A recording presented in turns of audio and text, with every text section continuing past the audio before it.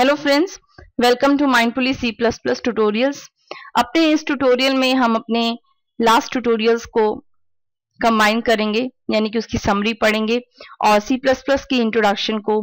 जो है देखेंगे। What is C plus plus C plus plus is a middle level programming language C plus plus जो है एक मिडल लेवल प्रोग्रामिंग लैंग्वेज है, जिसे मिस्टर बिजरने ने 1979 में बेल लेबोरेटरीज में डेवलप किया। इसे मिडिल लेवल प्रोग्रामिंग लैंग्वेज इसीलिए कहा जाता है बिकॉज़ इसने हाई लेवल लैंग्वेज और लो लेवल लैंग्वेज के फीचर्स को कंबाइन किया। जैसे कि हमने आपको अपने पिछले ट्यूटोरियल्स में बताया कि C++ लैंग्वेज सिमुला 67 और C के फीचर्स को कंबाइन करके बनाई गई है। That is why it is called middle level programming language अब हम C की एक डेफिनेशन के बारे में,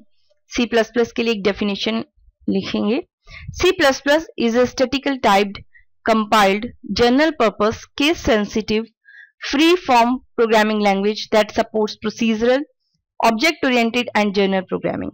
यानी कि C++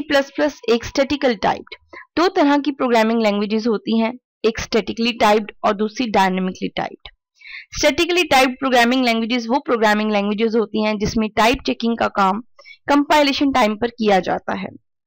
और डायमेनिकली टाइप्ड प्रोग्रामिंग लैंग्वेज, वो प्रोग्रामिंग लैंग्वेज होती हैं, जिसमें टाइप चेकिंग का काम कंपाइलेशन टाइम पर ना होकर जब प्रोग्राम को रन किया जाता है, तब किया जाता है। तो C++ एक स्टेटिकली टाइप्ड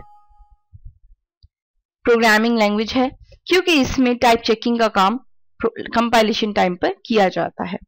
कंपाइल्ड जो भी प्रोग्राम C++ में लिखा जाता है उसे लिखने के बाद उसे कंपाइल किया जाता है। That is why it is called compiled language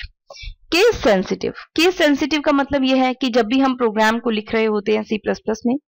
तो हमें वहाँ पर कीवर्ड्स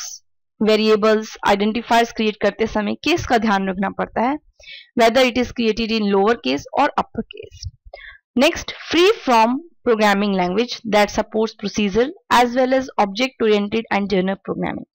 यानी कि सी प्लस प्लस एक ऐसी लैंग्वेजेस लैंग्वेज है, जिसने प्रोसीजर के कंसेप्ट को, यानी कि प्रोसीजर ओरिएंटेड प्रोग्रामिंग के कंसेप्ट को और ऑब्जेक्ट ओरिएंटेड प्रोग्रामिंग के कंसेप्ट को कंबाइन किया है।